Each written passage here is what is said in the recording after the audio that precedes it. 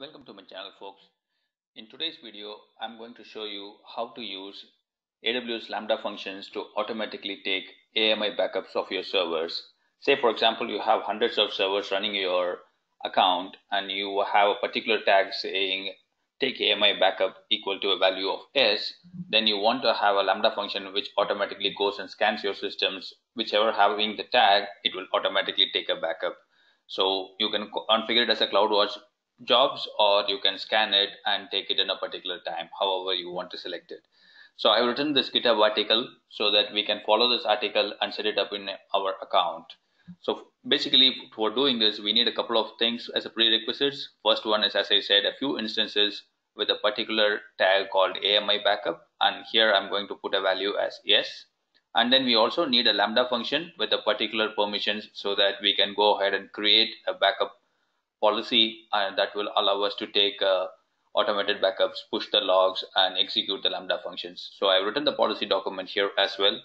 And just for easy reference, I've already created the Lambda role and kept it ready. If you don't know how to create a role, watch my video on setting up IAM roles along with the policy that is shown here. So the next step is configuring the Lambda function. And here, once again, as I've said, I'm using the AMI backup tag if you want to use some other tag go ahead and change that in the code. I'll show you where you can change that. Unlike that there's another configuration item that is available for you. That is retention days. By default this lambda function will check for a retention of 30 days. That is today if it is taking a backup on the 31st day you can configure another lambda function to automatically clean it up. And finally if you want to configure your AMI to be replicated to another region, then we can add a tag saying replicate AMI and set a value of yes or no. So by default, this sets a value of no. If you want to go ahead and use my function for replicating it, go ahead and set it up at yes. And the code for that is given here. Let me go ahead and open that. If you go here, here we have that. And I'm just going to click on raw here so that we can go ahead and copy paste it. So I'm just going to copy this code and head over to my Lambda dashboard. And remember I am in North Virginia region. Click on create function. And I'm just going to call it as serverless AMI Baker bot and remember this function is designed for Python 3.6 so choose that.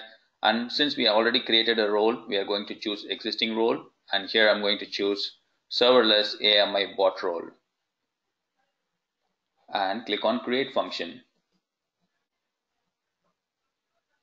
So my function has been created. So where do I paste my code? Go ahead and click on the serverless AMI Baker bot and you'll have the option to go ahead and update your code. I'm just going to delete the defaults here.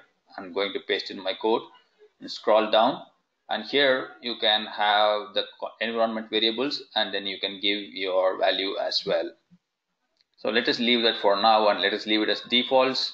And if you have a lot of servers, remember to change this value to a higher number. Say, for example, if you have 100 machines or 200 machines, go ahead and figure out what is the best number works. Let us say for two minutes, I'm going to give this one now. And I'm not going to change anything else. I'm going to click on save. And I'm just going to configure the Lambda triggers. If we go back to the GitHub article, we have first set up the IAM policy now, that is step zero. And we have also configured the Lambda function now. And next is triggering the Lambda function itself. We are going to use CloudWatch events for that. So let us go ahead and add our event triggers. So how do I do that? Go to your Lambda function and look at CloudWatch events. And you can see here it gets added here. Click on configuration required and then scroll down. And it is asking you what is the role you want. So I'm going to say create a new role. And then I'm going to say serverless uh, we have the code here serverless AMI Baker rule. And I'm just going to have the same discussion for now. And what is the schedule expression I want? I'm going to say every day I want it to happen once. So I'm just going to say rate of one day and then I'm going to click on add.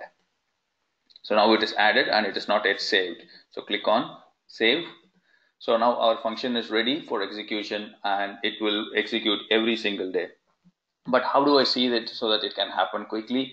So the next step for us to test our Lambda function so that we know that it is working. So I'm going to set up some EC2 machines. Let me go to my EC2 dashboard here. You can see here there are as of now six machines and I will just configure my dashboard so that it can pick up my tags as well. And you can see there three of them are running and three of them are stopped. I'm just going to click on the first one and you can see here it has a tag called as AMI backup and a value of S.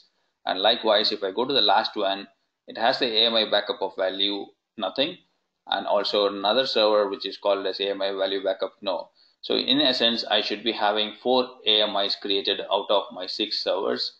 So let us quickly go over to my AMI screen. Again, in, I am in Virginia region. You can see here there are no AMIs right now. How my Lambda function must have triggered. So it started taking the AMI backups.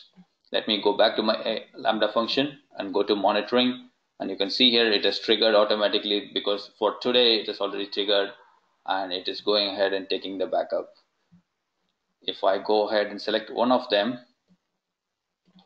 and you can see if I go to the tag section you can see here AMI backup is S and then the date selected was 30 days. So from today it is going to set as the 30 days as a deletion period and it is giving my original AMI ID as well as whether I want to replicate the AMI or not. And whether what all the other tags that was with my account has also been copied over to my AMI as well. So that tomorrow when I want to restore this machine I will know which AMI backup is relating to which instance. So that is how you set up uh, automated AMI backing up uh, function in your account the final piece of information that you need to know is if your server has more than one volume attached, like for example, my EC2 scheduler 2 server has more than one volume, if you select it, you can see here both the volumes and the snapshots are listed down here. So this Lambda function takes care of all the volumes and attaches it to your block devices so that when you're restoring it, you will get all the volumes as well and you can have clear restore point whenever you need it. So if you have any trouble in setting up in your account, give me a shout in the comment section. I can come back and help you. Thanks for watching. Have a nice day.